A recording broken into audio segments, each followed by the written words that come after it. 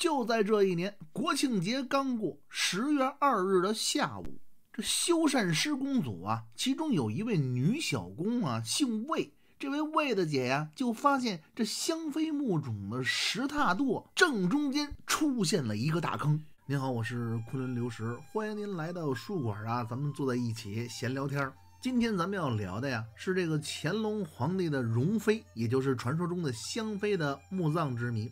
其实啊，不管今天咱们聊天的结果如何，这个香妃的墓葬之谜啊，它还会迷下去，因为这其中啊有一个小谜团是永远不会得到答案的。至于是什么呀，咱们在故事中会给您揭秘。得嘞，咱们闲言少叙呀，书归正传，咱们就开始啊聊聊这香妃的墓葬。在一八九二年的时候，当然这会儿的香妃，也就是容妃呀，已经去世一百多年了。在民间呀，虽然不知道这容妃娘娘是谁，但是这香妃的故事啊，已经威名远播了。在这会儿啊，有一位清朝的官员叫萧雄。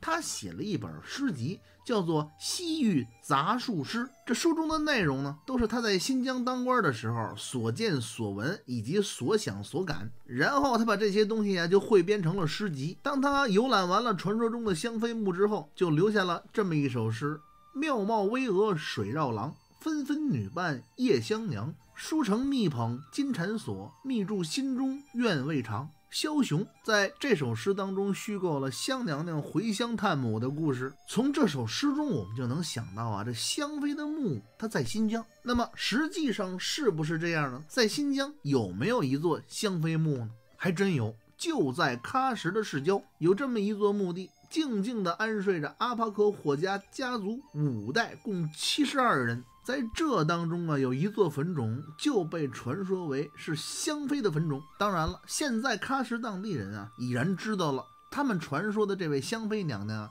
就是乾隆皇帝后宫当中的容妃。可是那会儿啊，没人知道，哎，因为毕竟是传说，也没有什么实证，所以大家呢只能以香妃来称呼这位女子。这个当地的传说啊是这样的：这个香妃啊是作为战利品，在大小和卓之战以后啊，被乾隆皇帝裸到宫中的。因为啊，这个香妃在家乡的时候就已然有情人了，所以呢，对这桩婚事啊，她是非常不满意。于是啊，就暗藏着戾气，想伺机啊刺杀乾隆。但是呢，因为这个自身条件非常的好，不但长得奇美啊，而且又体有异香，所以说呀，他是即便几次三番的要刺王杀驾，这乾隆皇帝仍然是舍不得他。可是啊，这后宫当中的老太后啊，她不干了。哎，这老太后说的是谁呀？那大概应该就是啊，这个重庆皇太后，也就是我们知道的甄嬛。于是，这太后就找了一个机会，趁着乾隆皇帝不在宫中的时候，秘密处死了香妃。当然了，关于这个香妃的死啊，还有另外一种传说。传说是什么样的呢？说这个香妃入宫以后啊，和这个乾隆皇帝琴瑟和谐，不但呢没有发生这个刺王杀驾的事情啊，这两个人还十分的恩爱。再有一点呢，就是你别看这个香妃啊，她是这个维族回部，但是她深通汉礼，对这个汉文化呀有很深的造诣，有很深的研。究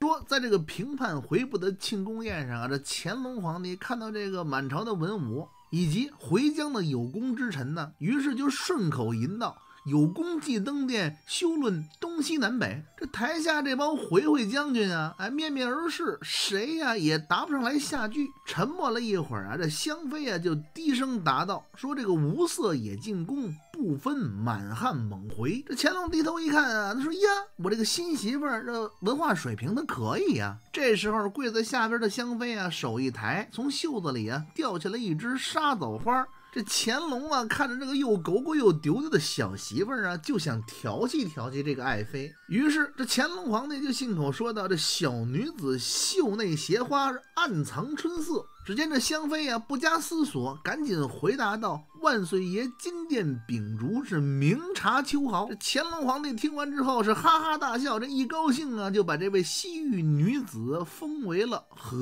贵人。虽然啊，这故事听起来就挺扯淡，但是啊，它必定代表着一些啊民间的声音。虽然这乾隆皇帝和这香妃娘娘很和谐，无奈呀，他没过多久，这香妃因为水土不服，在北京啊薨逝了。这和咱们刚才第一段传说呀就接上了，总归都是死了吗？那个呀是太后把他杀死了，这个呢是病死了。那接下来就应该是死后的故事了。传说是这样的：这香妃啊，在生前就有遗愿，在死后啊，要埋回到新疆。因为啊，也只有这样做，才能遵照自己的本民族习惯来埋葬自己。这接下来的说法啊，就很诡异了。有人说呀，这个香妃呢被太后处死以后，这乾隆皇帝遵照着香妃的遗愿啊，把她的头运回了新疆喀什，安葬在了家族墓地，而她的身体按照大清皇家的礼仪、皇家的葬俗，埋进了清遵化皇陵玉陵的。飞元寝，当然了，这是横死说的埋葬方式。那么那个病死说的呢？哎，他是这样的：说这个乾隆皇帝啊，看到这个香妃娘娘病死了，于是啊，他就想起了香妃娘娘生前呀曾经留下过遗愿，他想让自己呀葬回新疆。可是这会儿的皇帝啊和礼部的大臣也挠脑袋了，为什么呀？因为按照大清国的祖制家法呀，是万万不能的。这妃子呢是必须按照祖制埋到皇陵当中。哎呀，正在大家都一筹莫展的时候啊，还是这乾隆爷一拍脑门子，他贼起了妃制了。于是他就命人用檀香木雕刻成真人大小的一尊木雕，按照穆斯林的礼仪，用白布缠裹好，放进了棺椁当中，运到了喀什。于是这香妃家的娘家人啊，也就心照不宣的把这尊木雕葬到了家族墓地当中，对外宣称这就是香妃墓。并且，您现在要是到新疆喀什香妃墓去游览啊，您还能看到这个墓室当中存放着一座驼轿。驼轿是什么呀？就是用两个骆驼架起来一座轿子。那这个轿子是干嘛用的呢？这就是盛殓香妃娘娘的遗体用的。在这两百多年以前呢，就是用这乘驼轿从北京把这香妃娘娘的尸体千里迢迢又运回了新疆夷陵。说到这儿，咱们也该揭晓那个永远打不开的谜团是什么了，那就是啊，在喀什这座墓穴当中，到底埋没埋着香妃，也就是容妃啊？这将是一个永远的谜。无论是遵从尊重少数民族的角度，还是尊重这逝者的角度看啊，我们都不可能把这座墓冢打开，证实一下里边到底埋没埋着容妃。您瞧，人家这故事编的嘿，有鼻子有眼儿有实物。哎，下回我编故事啊，还得向人家学习。那么真正的情况是什么样呢？这真正的情况，其实这两天咱们故事里边已经交代的差不多了。这香妃呢，自然就是乾隆皇帝的容妃。是回疆合卓部啊，一位维族女子。咱们一定得认清啊，这史料中记载，容妃是回部女子，但是她和回族并没有什么关系。她是新疆的一位维吾尔族女子，二十七岁入宫，成了乾隆皇帝的和贵人。后来呀，又一步一步晋升到了容妃的位上。那么这二十七岁呢，实际上是咱们中原人的说法是虚岁，人家回部啊，应该是说的周岁，是二十六岁。以后您要是要是听有人说呀，这香妃娘娘入宫的时候是二十。六岁，您也别好奇，那是按照人家本民族的民族习惯的说法。要说这容妃娘娘在宫里生活的还算是很幸福，这乾隆皇帝对她呀是宠爱有加。比起这后宫很多的嫔妃来呀，寿数也不短，活到了五十四岁。一七八八年五月二十四日，这容妃娘娘薨逝宾天，内务府大臣啊，按照清宫旧例，把容妃娘娘的遗物，哎，一些珠宝首饰以及衣物啊，分别赏赐给了公主、命妇以及容妃娘娘的亲属。据清宫帝后妃遗物处理和焚化改制当中记载。大学士和珅把这个容妃遗物领去，分别赏给了容妃之五叔公鄂斯因、叔叔子公托克托、五叔之子台吉喀什霍卓、六叔台吉吉帕尔萨、六叔之子兵巴克尔、五婶儿、六婶儿兄图尔都之妻、容妃之姐、容妃之妹、容妃之侄女等等。这里边其他信息并不重要，有一点是值得我们思考的，也就是说，容妃娘娘这些亲戚呀，压根儿就没在伊犁，他们呀都生活在北京，也就是说呀，他们是上三旗里边的回子营。这会儿啊，这容妃娘娘的全家呀，应该算是八旗，八旗当中的回子营。那容妃娘娘肯定是顺理成章的被埋到了遵化皇陵玉陵的妃元寝当中。既然啊，这香妃娘娘被埋到了遵化皇陵，那就好办了，因为啊，这个文献比较充足。再有呢，这个东陵离得我这儿啊很近，哎，咱们去实地呢采采风呢也是方便的。那么在讲这遵化皇陵香妃墓之前呀，我得先跟您交代一下，这个遵化皇陵里边的香妃墓，也就是容妃墓啊，被盗过，哎，里边的珍宝现在呀是荡然无存。在这个东陵的陵区当中啊，有两个村子，叫玉大村和玉小村。从这两个村的名字呀，您就能读懂，这两个村子是乾隆皇帝御陵的守陵庄。在这个玉小村呢，我认识一位姑娘。这位姑娘啊，是这东陵的导游。她就曾经啊跟我提到过，她说据老人说呀，说在很多年以前，那会儿还留着辫子是清朝呢。其实这些守陵人就基本都知道每个娘娘的葬位，也就是在玉陵妃园寝当中第二排左数第一位，也就是从东边数啊第一位就是这香妃娘娘的墓冢。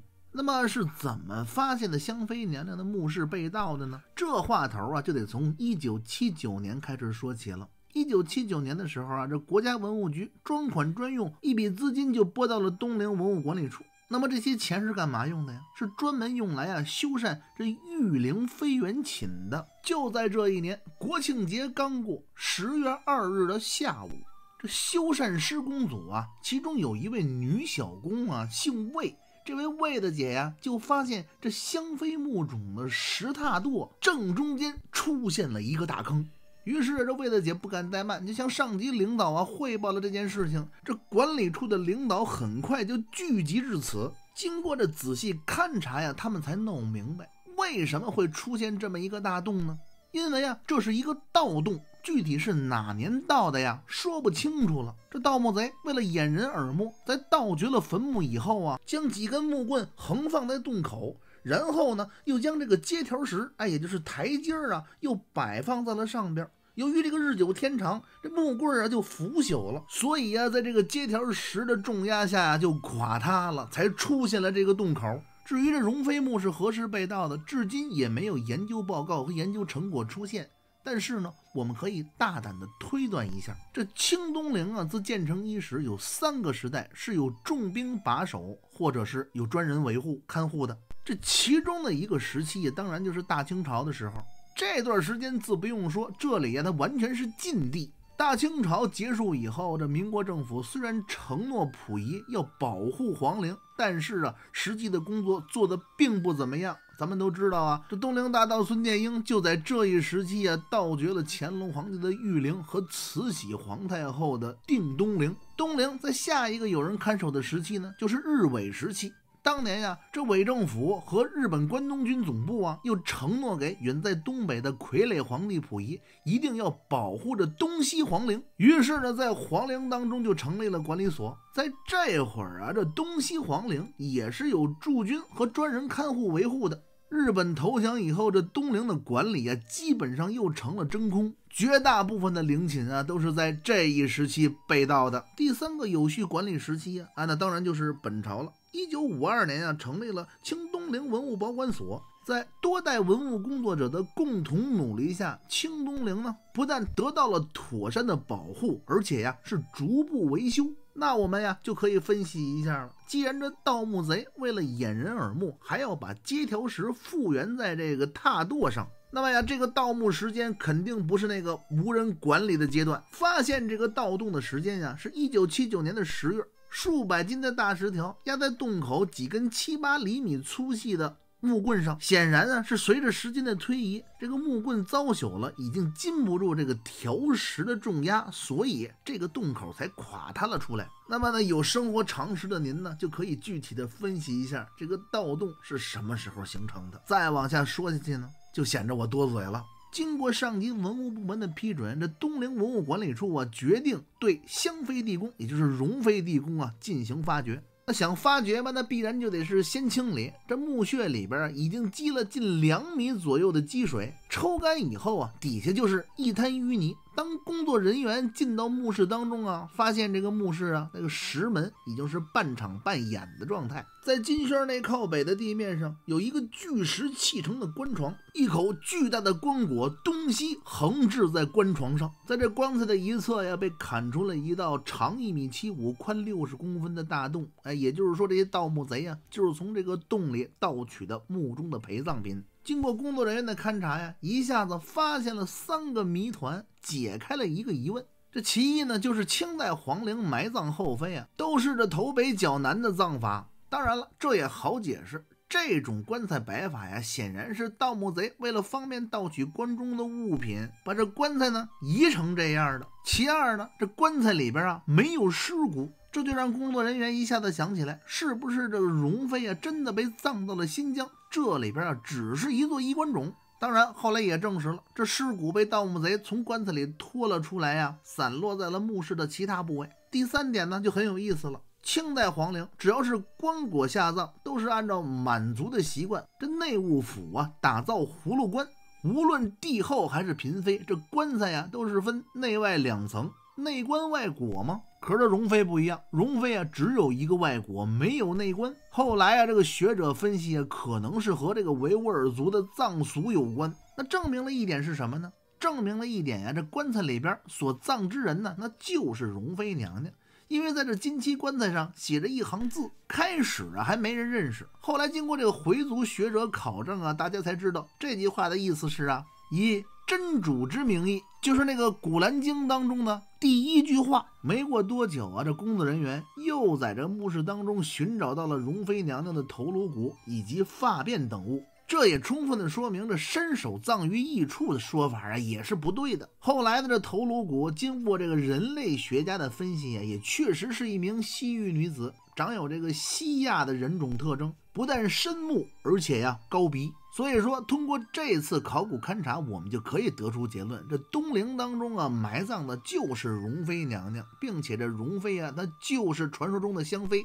因为这乾隆皇帝啊，在后宫当中虽然有三位回部女子，但是做到主位的，也就是做到这个嫔以上的，只有容妃一人。所以呢，这个墓中啊，埋葬的只有可能是容妃。那么有人就说了，那这里边会不会是那两位回部女子呢？或者是福贵人，或者是宁常在呢？哎，也不会，因为呀，在考古发掘当中啊，在地宫里边的淤泥当中找到了猫眼石。清宫当中的规制是这样的：猫眼石这种宝石啊，比较珍贵，产自斯里兰卡，只有在嫔以上后妃的饰品当中才会出现。所以说，既然能发现猫眼石，就证明这座地宫当中埋葬的肯定是嫔以上位分的后妃，不会是贵人常在的。得嘞，今天呀，这香妃娘娘的埋葬之谜啊，咱们就掰扯到这儿。到了明天呀，咱们就要聊聊这香妃娘娘到底长得是什么样了。我是给您讲故事的昆仑流石，喜欢我的频道啊，希望您关注、点赞并转发，您的支持是我能持续更新下去的唯一动力。